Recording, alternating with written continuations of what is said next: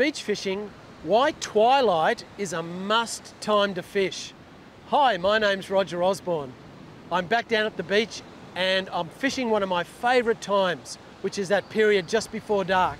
And in this video, I'm going to be teaching you everything that I'm doing and explaining why it's such a crucial time to fish.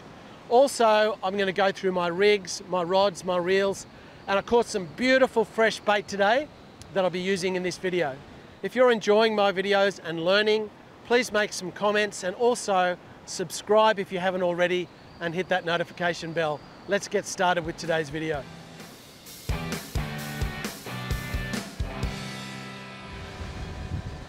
I've decided to fish in this sheltered location this afternoon.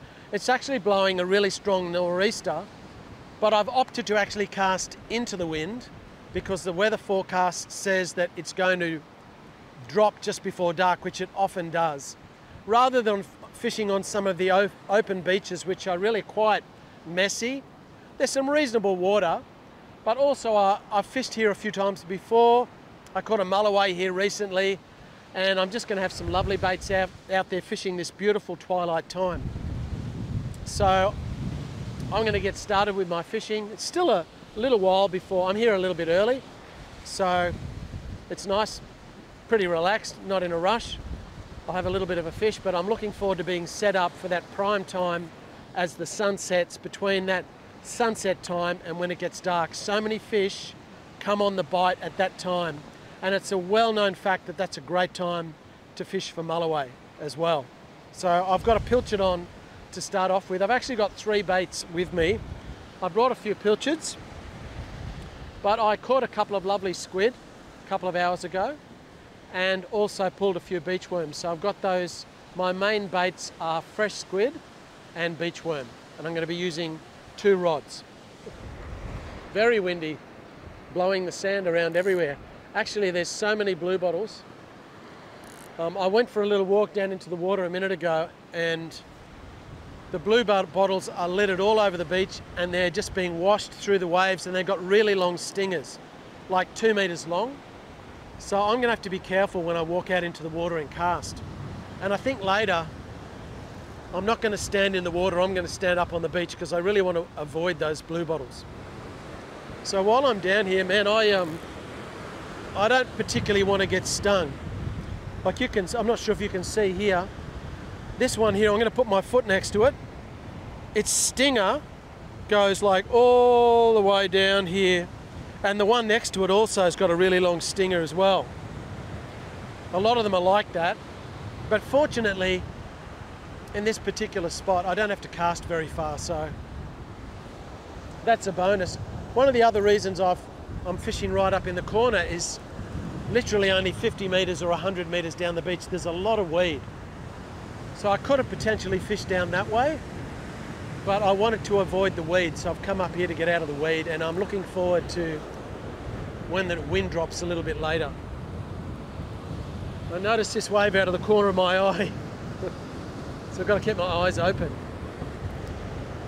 So I'm going to whack this pilly out I just need to watch, keep, have a look in the water because I did see a lot of blue bottles before. I can't see any just here. Because they're not actually massive blue bottles, it would be easy for them to hide in the white water. But they do have a long stinger. So certainly want to avoid that.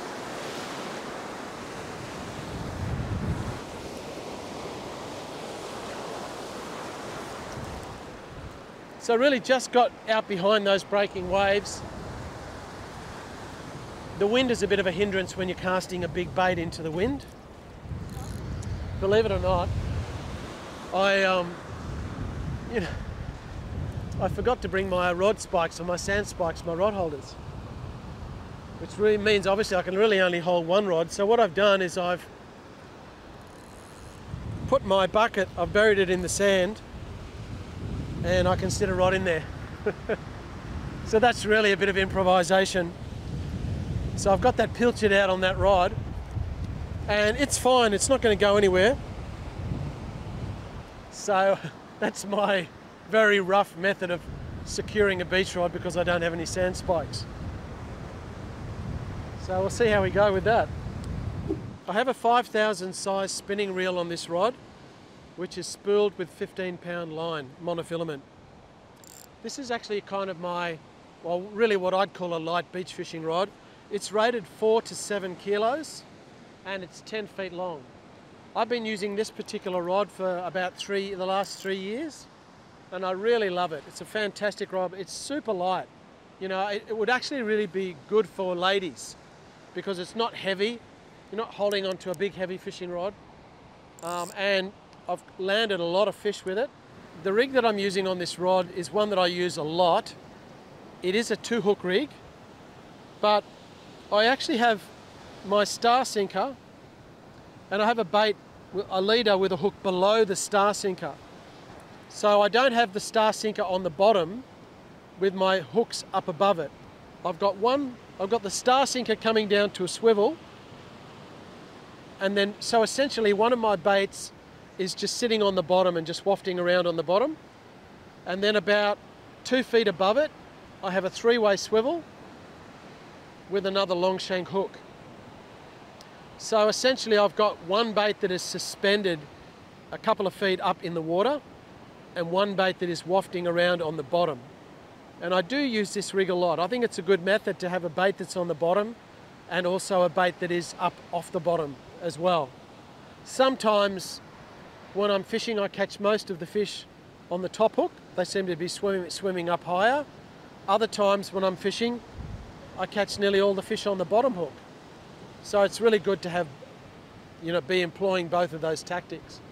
Now I'm going to bait this up with some uh, fresh beach worm. You can see actually the sinker is free running between the two hooks.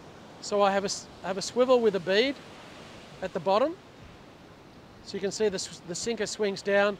There's a luminous bead just above the swivel to protect the knot. Then the sinker is free running for about two feet up until the three-way swivel. So I've just baited this rig up with two worm baits. At least with the worm baits tossing into the wind will be okay. I just saw a fish jump in the water, actually. I'm just standing here looking at this situation and I'm on a sand spit where there's an island beyond it. I've got weather coming from the north and the tide's coming in. At low tide, you can walk all the way across. But because the, the weather's coming from the north, the water is washing north to south. There's actually a current coming through this little channel and it's stirring it up and going into this little area over here. And my thinking is that that could be washing food through this little channel and there could be fish waiting over there where it's coming into the other side. So I actually would like to have a cast over there because it's the sort of spot that whiting could be hanging around looking for something to eat, especially when you've got a natural flow and I can see the sand being stirred up there. So while I'm intending to cast out into the wind, I think I might have one cast over there first. And I did notice when I walked over here before, all the blue bottles are on the windy side, and there's no blue, no blue, no blue bottles just here anyway on the shore.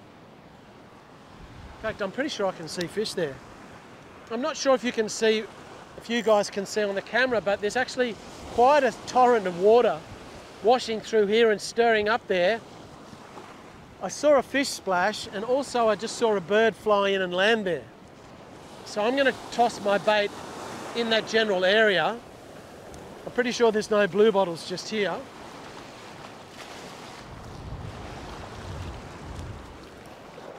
Yeah, that's going to do it. Yep. I landed right at the end of that turbulence.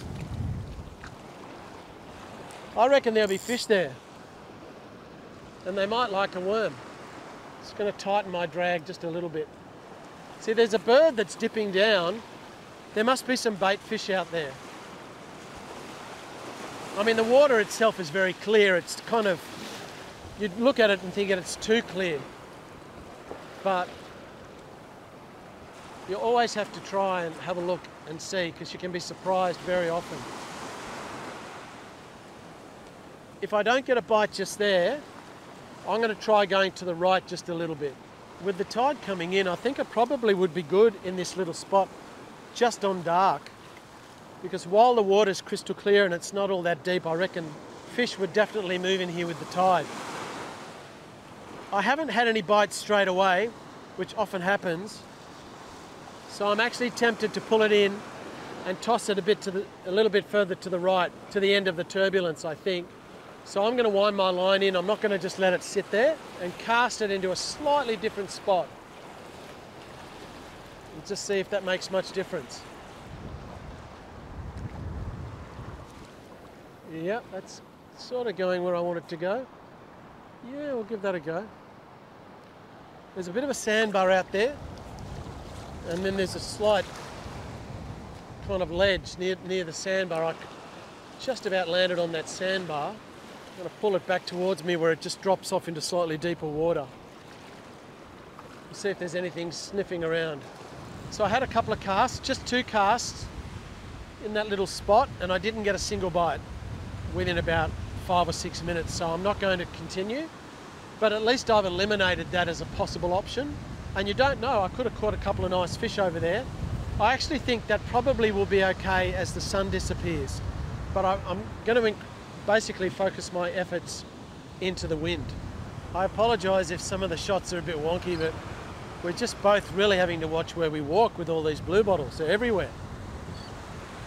And I'm trying to keep my eye in the water to see if I can see any washing in on the waves, which I have seen a few before.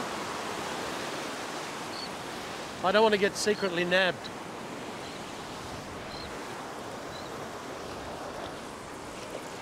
Okay, well I'm happy with where I landed. So I've decided to walk up the beach a bit away from the blue bottles. And even if I hook a fish, I'm not going to walk down there.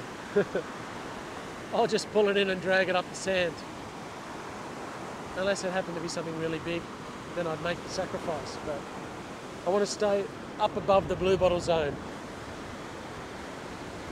Now, why is twilight such a crucial time to fish? I mean, it's a well-known fact that periods of low light are very good for fishing.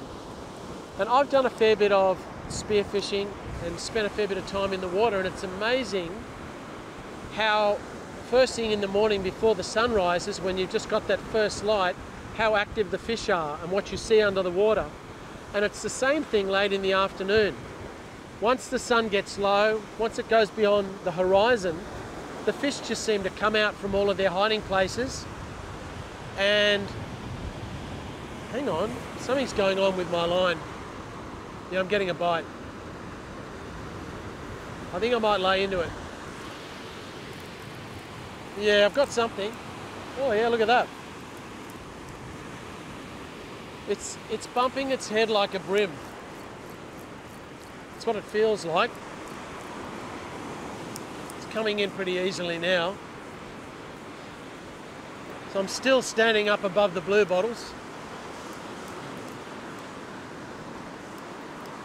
Here it comes. Actually, it's a lovely bream. It's quite a big one. Well,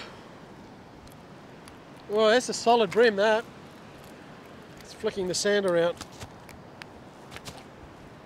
I'll just grab it. I'm sure you understand sometimes fish aren't easy to grab a hold of. Look at that, he's a beautiful fish. Now he took the bottom hook. So that's the bait that's just lying, that bit of worm that's just lying naturally on the sand bottom is what he took. My line was actually only in the water for maybe two or three minutes. So there's a bit of a contrast between casting out here as, as opposed to on the other side. So I'm going to uh, quickly dispatch this guy and toss my line straight back out again.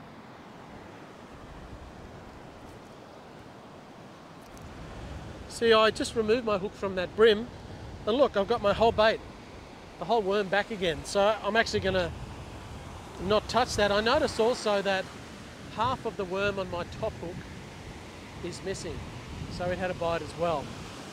Well, I better put a bit more worm on. I've got some lovely fresh squid, so in a little while, when the sun gets a little bit lower, I'm going to put some squid on my other rod. See these worms? I always have plenty of sand on the worms because otherwise they're almost impossible to hold. They wriggle around so much. You know, because these are these are only caught not long ago, so they're very lively. So I'll pull that up the hook. Just put a nice big worm bait on. I've actually fed that right up onto the line. And that's gonna, man, he's a tough worm, that one. All right, time to dodge the blue bottles again. Get it back out there. One thing I'm looking at is that when these waves wash up here, there's so many blue bottles along the edge that they could cut, they could hit me from behind. So I've got to keep my eye out for that. There's one right here. In fact, I can see like, I can see heaps. So I've got one just to my left. There's three just there. Wow, that's, that's hectic.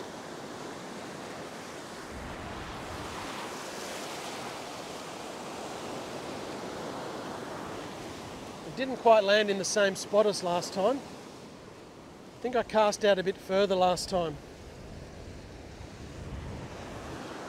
Still, that will, I'm pretty sure that'll be fine.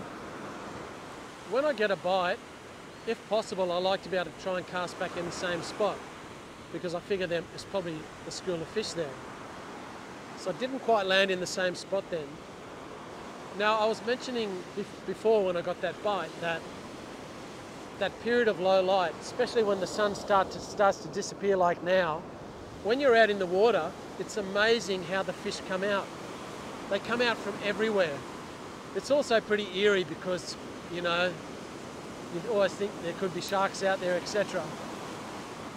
But it's a well-known fact that at this time, generally you get more bites.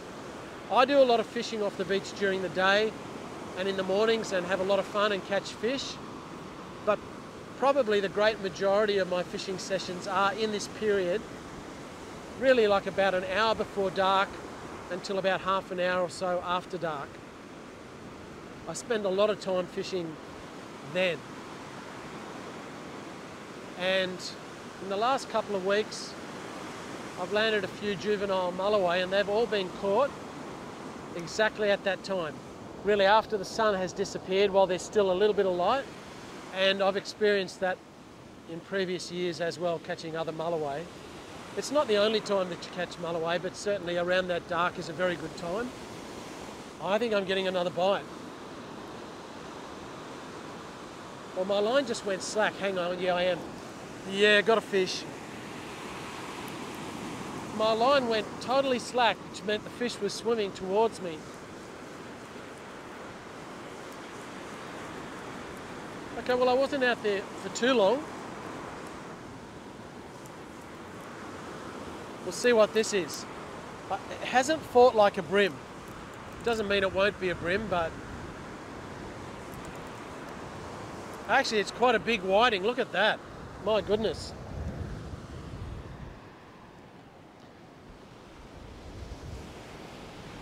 Look at the size of that guy. He is an absolute beast, this whiting. Look at the size of his head. Now that's that's what you call a really quality sand whiting. He would be 10, 20, 30, he'd probably be 40 centimetres long, that guy. He's a nice fish. He took the worm that the bream rejected and gave back. Two fish on one bait. That's pretty cool. We had fish for dinner last night actually, it was so good. We had bream and whiting, I did them just in a panko crumb. Oh mate, we, we just woofed them. So we need a few more. Well, I um, that whiting, I didn't get the worm back, so I got two fish from that one bait. Really a big bream and a big whiting. Now I get a lot of people asking me about which location that I'm at when I'm fishing. And real, I fish a lot of different places off the beach, but you know what really, it doesn't really matter because the principles that I'm teaching you apply to wherever you may be. When I used to live in Sydney, I had wonderful time fishing off the beaches there, catching a lot of fish, and it's the most populated city in Australia. There's people everywhere. So really what I'm teaching you, you can apply, you know, whether you're in Queensland, Victoria, New South Wales, even in other places around the world, these tactics would work in your beaches. I've had a lot of people actually reaching out from the USA saying they've had some success um, fishing off the beach there using some of the techniques that I use. I don't always mention where I'm fishing. Sometimes I like to do that just out of respect for the local people. But most of my fishing is done in very public places on the beach where you see heaps of people usually. Although tonight, I'm the only one here.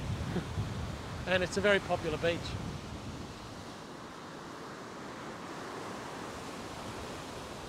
Keeping my eyes open all the time. I just want to pinch a couple of metres, walk out into the water,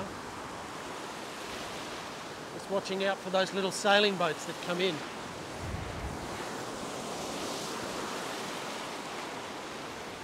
Yeah, didn't really get out all that far, but just beyond the wave, breaking waves, but wouldn't mind getting out a little bit further.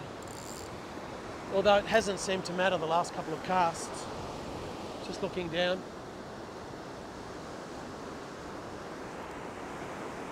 But it's just getting to that time now. The sun has literally just disappeared.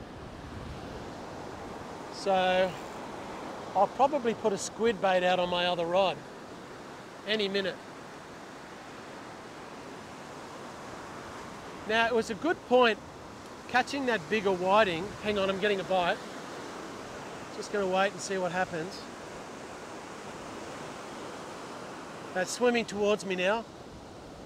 Wow, it's swimming right in towards me. Yeah, I got it. That was even quicker that time. Well, this is great.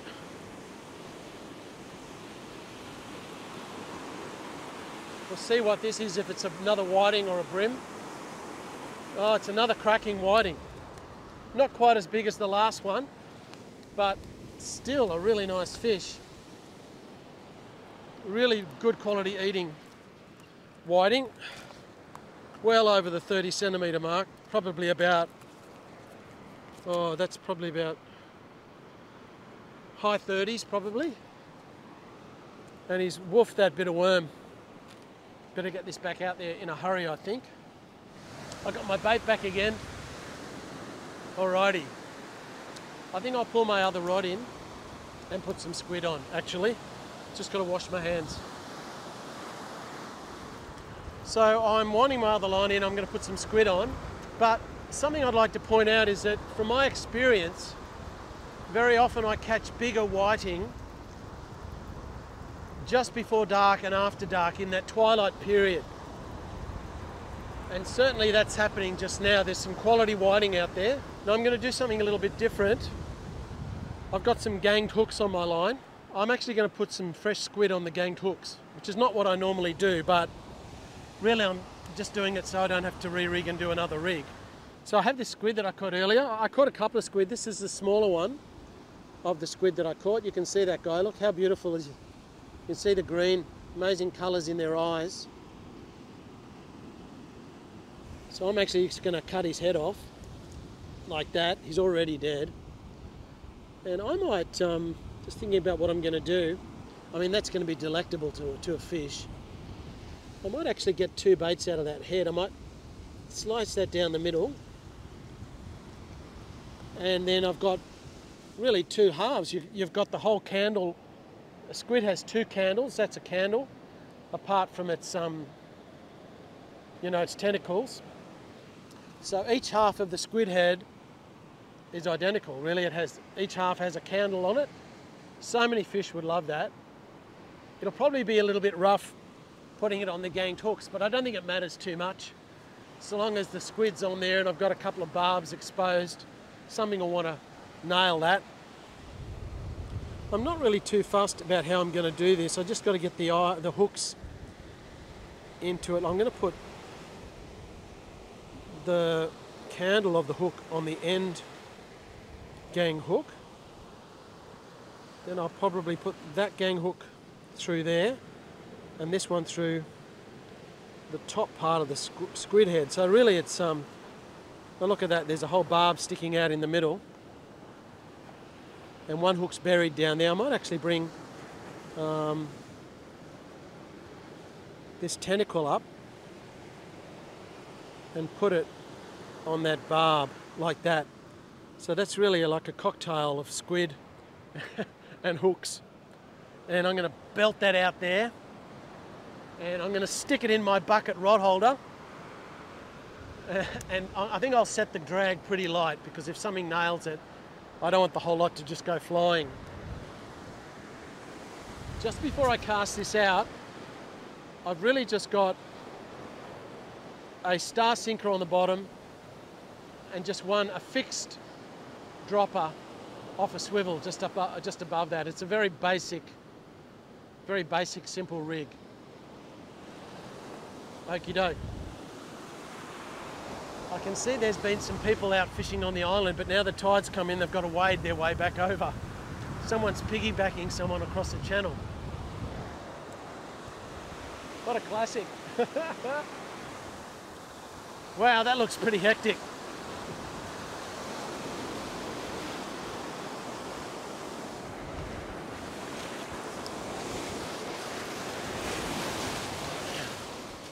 Get out of the water.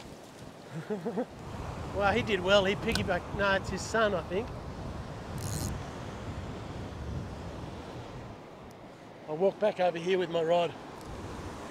I reckon if there's some big bream out there, they would probably nail that squid. But I'm really hoping for a mulloway with this squid. That's what I want to catch. Good job.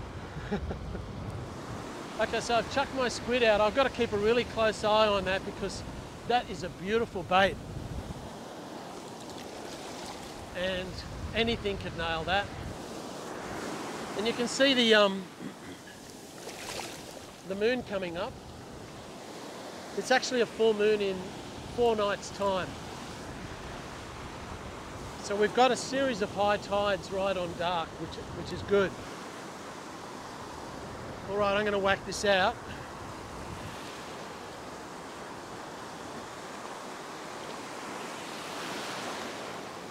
Looking out for blue bottles.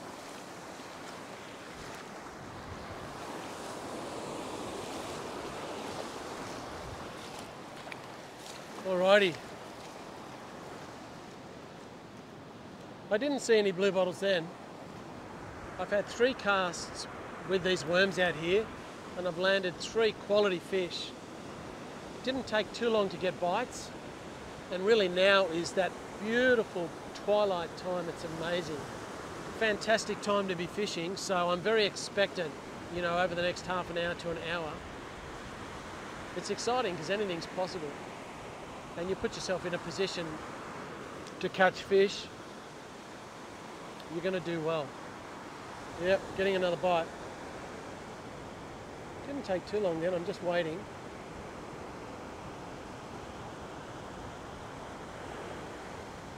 Could have struck then. Yeah, something's going on. Just waiting to really feel the weight of the fish. Or for it to either swim out or swim towards me. Yeah, swimming towards me now.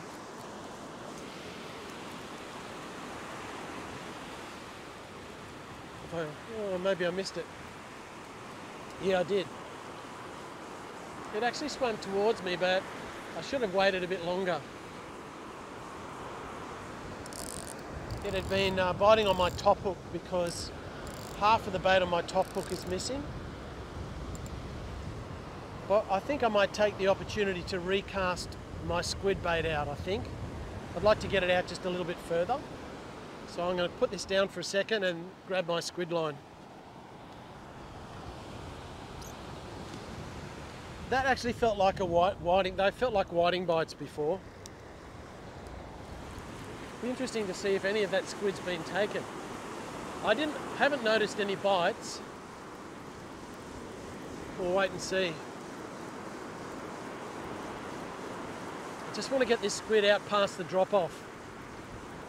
What's it look like? Oh no, looking, looking very good actually. Look at that. Summing is going to love that. I'm going to walk to the side a bit where I can just get out a little bit further and get it out the back. Hopefully the, um, the blue bottles are dissipating a little bit. That wind is still really strong so it's yeah, it's hard to get much further than that into the wind. Actually, we'll leave it there. Probably prefer it to be out a little bit further, but that's uh, that's okay.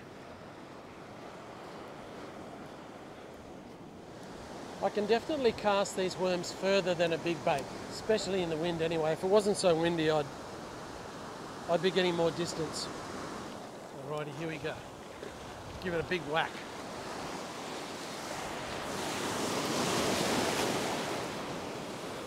That's pretty good. Yep, something's going on. Swimming towards me. Swimming towards me again. Yeah, got it this time.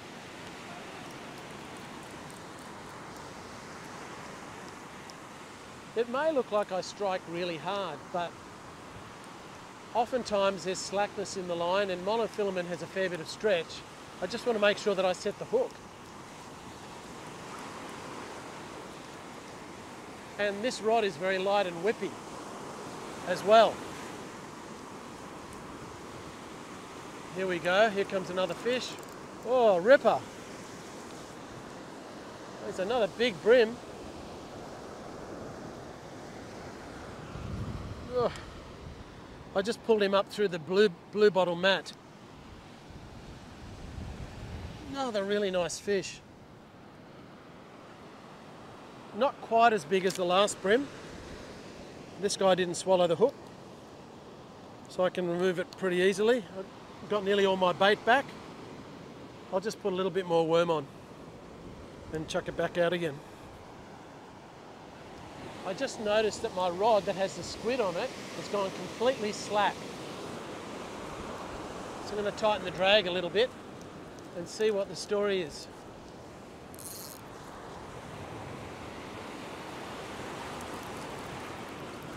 No, there's nothing on there, but the line was just totally loose. So something grabbed it and swam in with it a bit.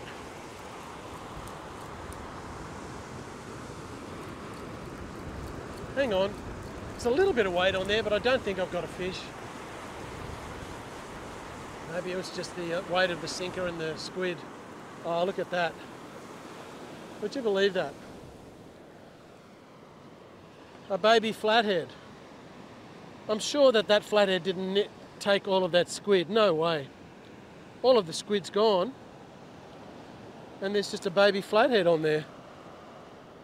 Just caught on one of the hooks. Now, I don't particularly want to get nailed by him. I'm going to hold him. Oh, there you go, got him off. Let him go.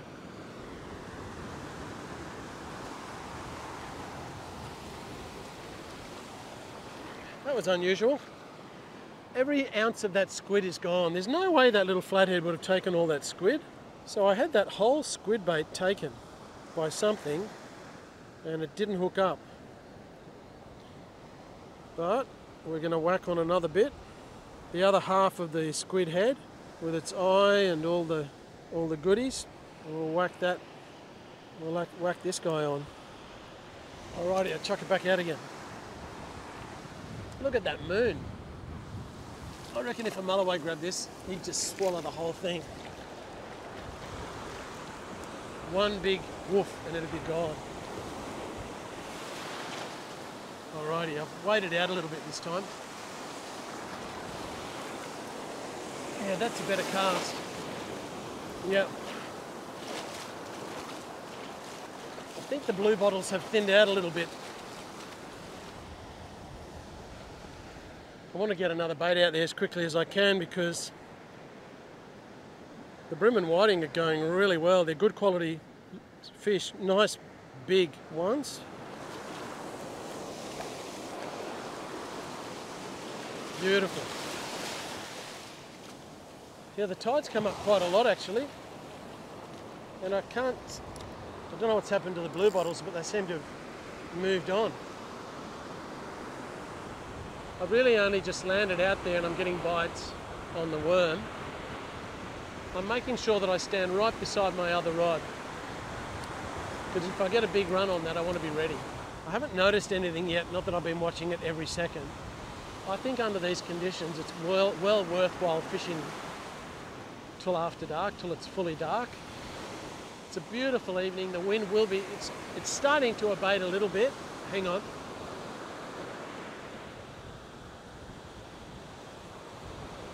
A couple of knocks. Yep. Yep. Oops.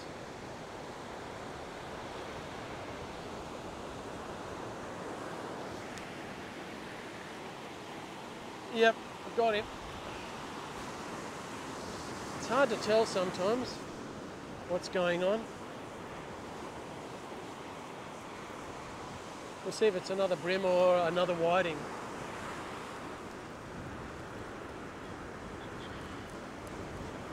Not that big, I don't think.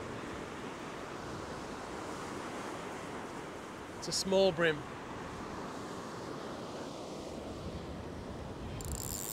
That's why the bite was just a little bit fiddly because it's just a little one.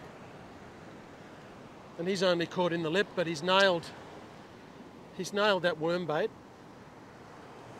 So I will quickly put him in the water and put another bait on.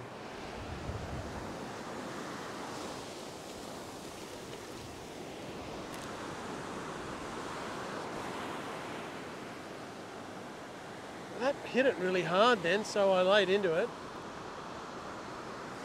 Oh, I got it now. I think it's another small bream, actually. Maybe the small school has moved in.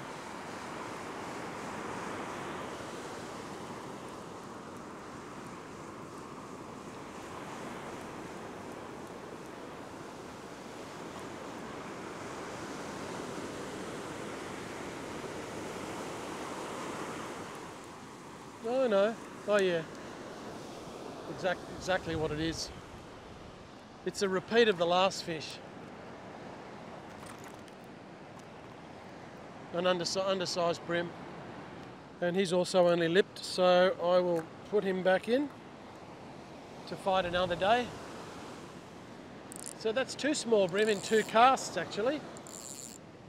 So I'd like to see the big ones come back again rebaiting, putting a bit more worm back on. These worms are pretty chunky, quite big. So the light is fading now. I have something, yeah. Not sure what it is, it could be another small bream. Got a little bit more fight in it.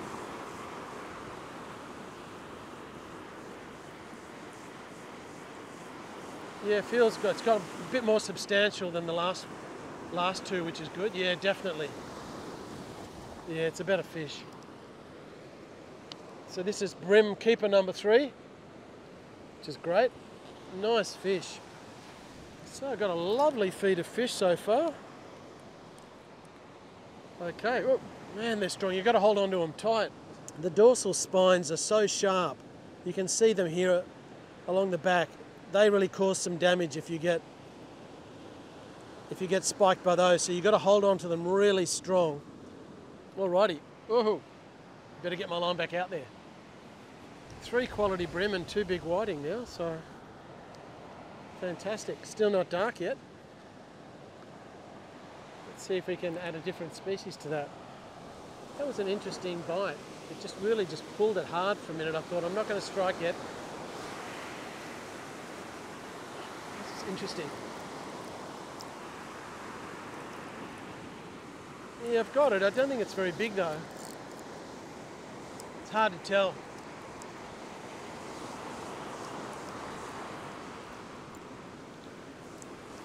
Feels a bit like a bream again.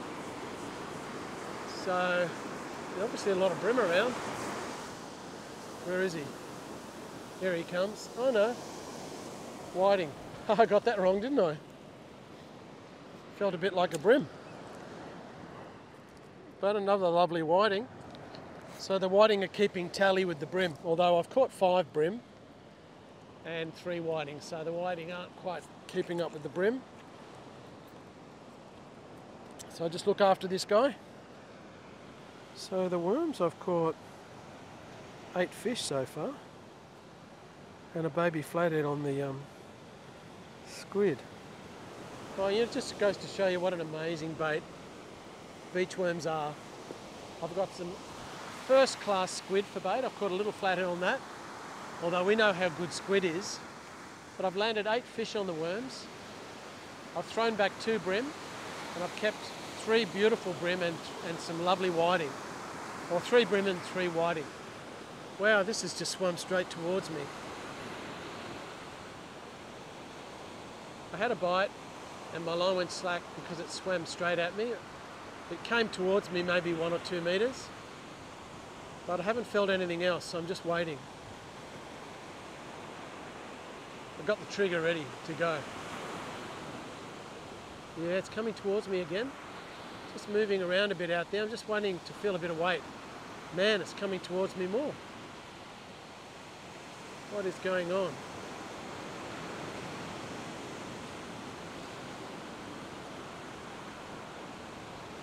Yeah, I think now's the time. Yep, got him. All right, let's see what we've got this time. Is it another whiting?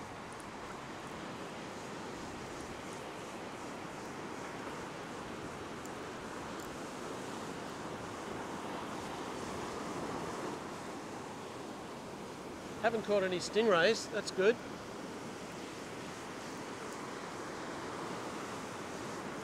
Feels good, okay. Whoa!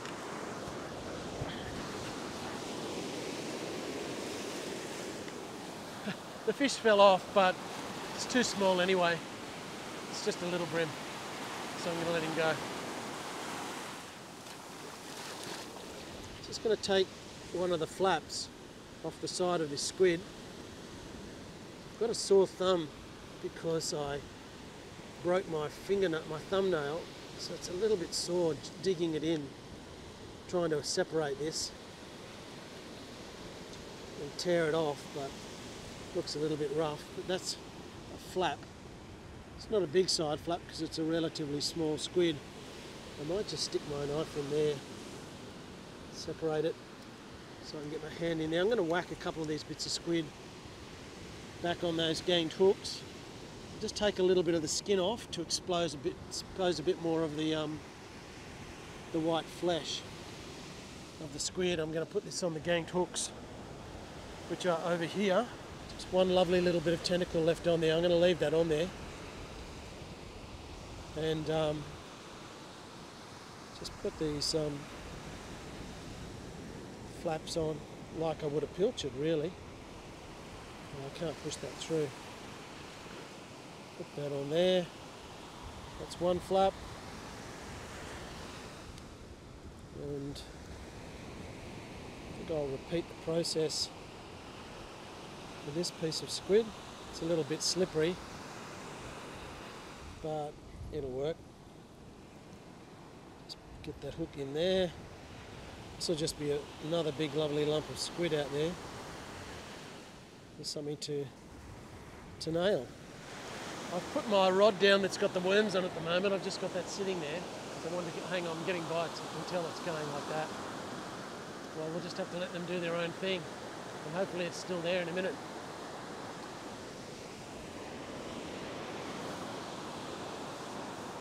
Yeah, it's really slack. Something swam in with it.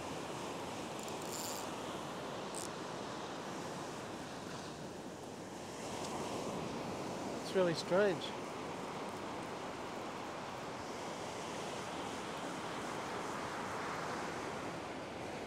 Yeah, I got something. Yep, I think it's another bream. That's what it feels like. See if I'm right this time. Yeah, he's a ripper.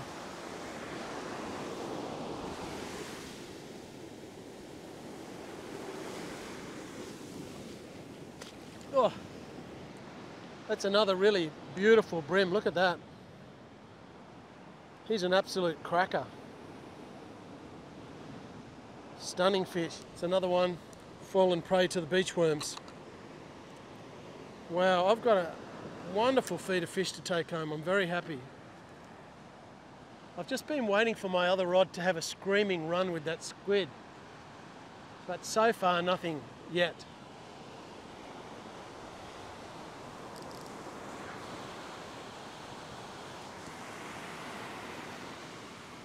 Yep, Come on. Okay, that fish yet again swam in with the bait. It seems to be what they're doing.